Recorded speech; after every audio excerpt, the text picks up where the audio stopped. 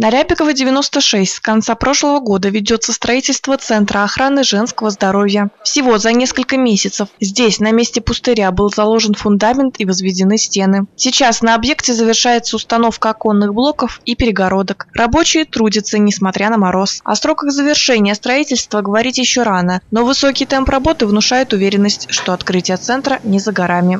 Этот центр разгрузит нам полностью женскую консультацию, которая сегодня находится в стесненных условиях, порядка 300 метров занимает в городской поликлинике номер 4.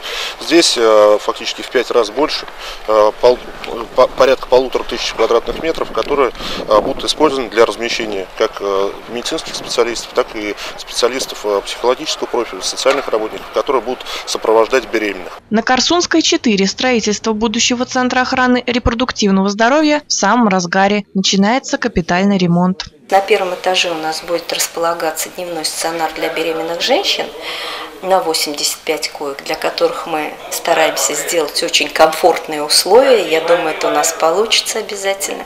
При угрозе невынашивания плода здесь они будут проводить амбулаторное лечение в рамках дневного стационара. Напомним, в здании 1953 года постройки ранее располагался роддом номер один, признанный аварийным в 2014 году. Долгое время велись споры по поводу сноса или сохранения учреждения. Однако власти региона приняли решение восстановить здание. В объект было вложено порядка 80 миллионов рублей. Юлия Дегтярева, Павел Макаров. Новости Ульяновской правды.